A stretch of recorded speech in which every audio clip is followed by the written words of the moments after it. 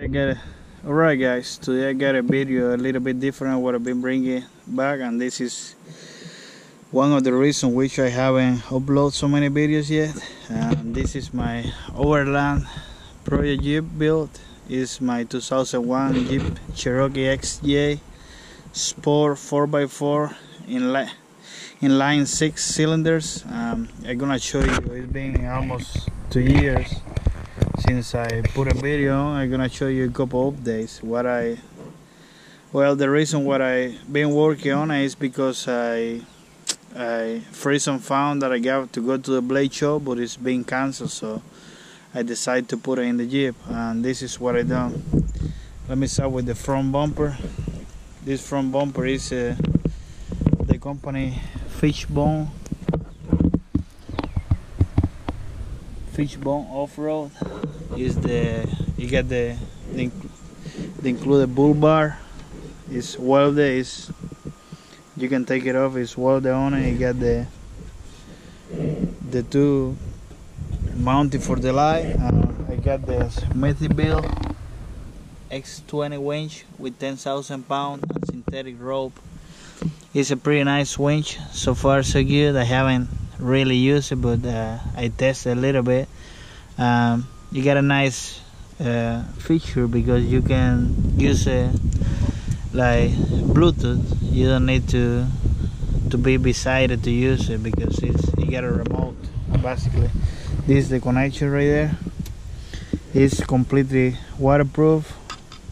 At least that's what they say. I haven't tested yet. And yeah that's that's the winch right there and that's that's the bumper this is pretty slick in the video before I show you I got the Bushwacker fenders. Got 2 inch wheel spacers on it. 31 inch tires. I got a 3 inch lift kit. Rough country with the steering bar.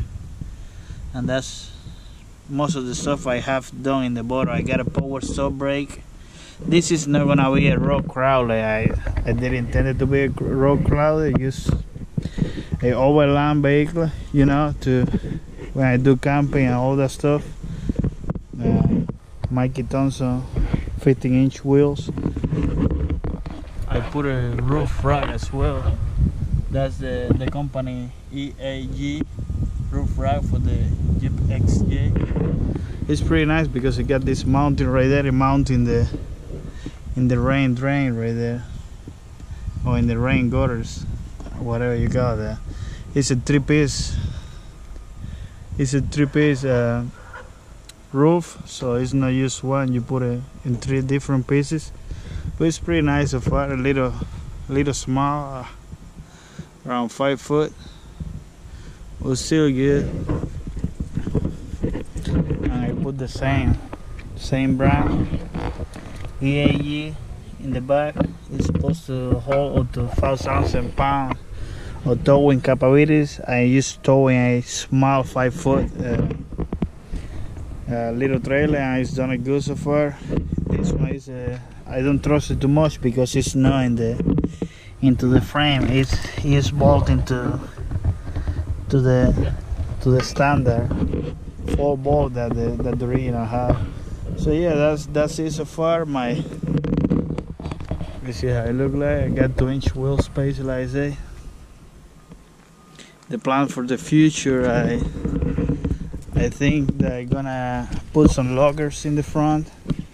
I got the the Dana 35 in the back which is uh, you got bad reputation to being weak um, I'm trying to put a super kit Dana Dana 35 uh, what else? I want to put the rock slider. I want to put a light in top right here. I want to put a light right here. After I complete all those steps uh, I think I'm gonna paint it. I'm gonna buy some well I still need to fit the the headliner you can see it's falling down. I got the stuff to to fix it. I haven't fixed it yet. But yeah that's the Jeep so far. I'm gonna paint it with some bed liner when I get to that point. So far so good. I gotta I gotta check it out. Some problem I have I'm losing some some coolant so that's not good. All right guys uh, I hope you've been patient waiting for the next video. Um, yeah probably gonna upload this one today uh, Saturday and tomorrow I'm gonna upload another video with knives. That is gonna be a video of the uh, Fallkniven A1 Pro versus uh, uh, TRC Apocalypse so that's gonna be a good video. Yeah that's the that's the Jeep how it looking and so far I'm liking it what I see. Right guys. Have a good day